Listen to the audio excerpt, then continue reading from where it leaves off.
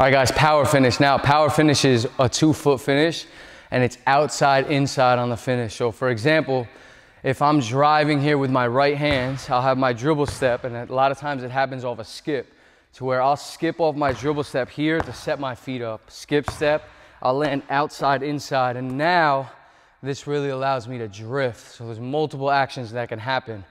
If I had a big, for example, at the midline, I can drift, bump into them, and get away.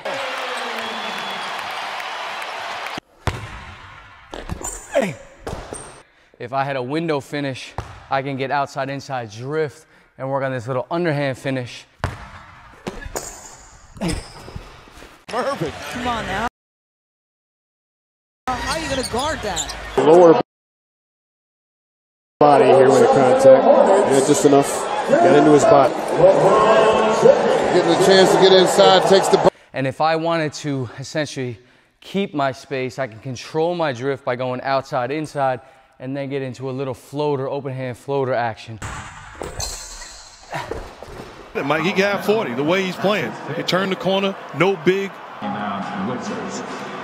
Oh, take a timeout. Another wild finish ahead. Wizards and Hawks from Atlanta.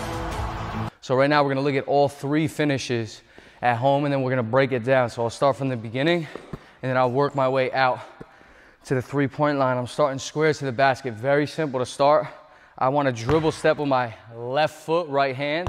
I'm skipping, landing outside, inside. And for now, I just want us to bring our shoulders to the midline and try to finish away.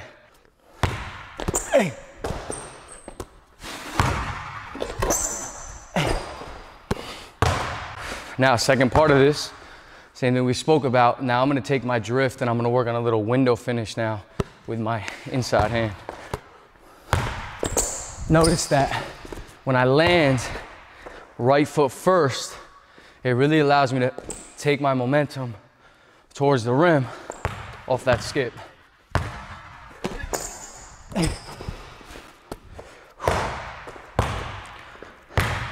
Last one, touch floater. Same concept. Notice on this, I control my momentum. I'm not pulling too far forward. forward. This is still a power finish, but now the, the hand is more of an open hand floater. All right, guys, now we're gonna tie those two together off the second dribble now. All right, I'll go midline action.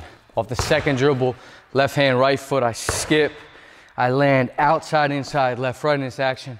And the first finish that we're gonna work on is really being able to jump, create some contact, get the basketball away. Second one, we go skip step, outside, inside. I wanna go underhand finish with that window. And then we go skip, outside, inside, open hand, floater. So everything right now is off a power finish.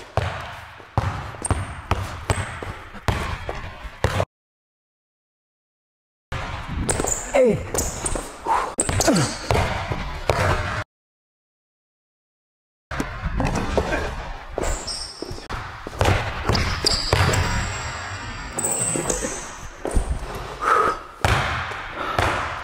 Let's get that to the other side. Same concept now. Two dribble drive, left, right, left off this left foot. We're skipping. We're landing outside, inside. Three actions. I go bump, right hand. I go window left, and then I go open palm, floater.